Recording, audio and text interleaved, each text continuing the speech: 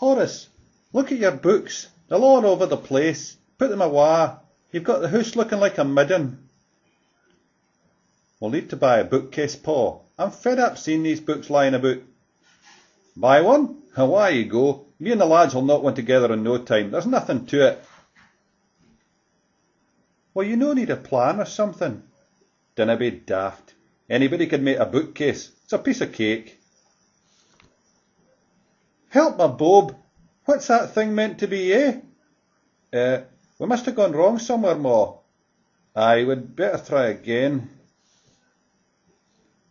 That's worse. It's no as easy as you thought, Paw. What'll we do now? Come on, we'll nip down to Archie Baird's. He's got a pile of do-it-yourself books. So's Tom Dow. He's a bit of a joiner. Jock Reed would give us some too. Well, there should be something about making bookcases in this lot. It doesn't seem to be anything about bookcases in this one, Paw. Here's one here, but it's a terrible looking thing. I'll try another book. Help me, Ginger. Look at my room now. It's twice as bad.